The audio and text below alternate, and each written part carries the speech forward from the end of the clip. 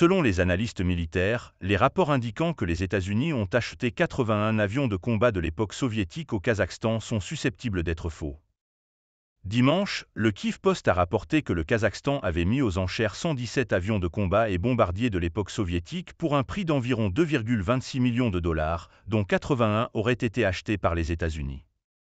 Le journal a cité des rapports provenant de la chaîne de télégrammes ukrainienne Insider UA et du site russe de Nouvelles Reportées. Le Kiev Post a souligné que les raisons de l'achat par les États-Unis n'ont pas été rendues publiques, mais que les avions pourraient être transférés en Ukraine, qui lutte contre l'invasion totale de la Russie.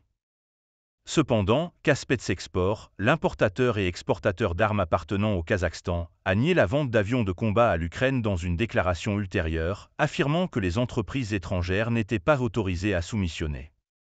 Francisco Olmos, un chercheur au Centre des politiques étrangères spécialisé dans les questions de l'Asie centrale, a déclaré qu'il était très difficile de déterminer si la vente avait réellement eu lieu.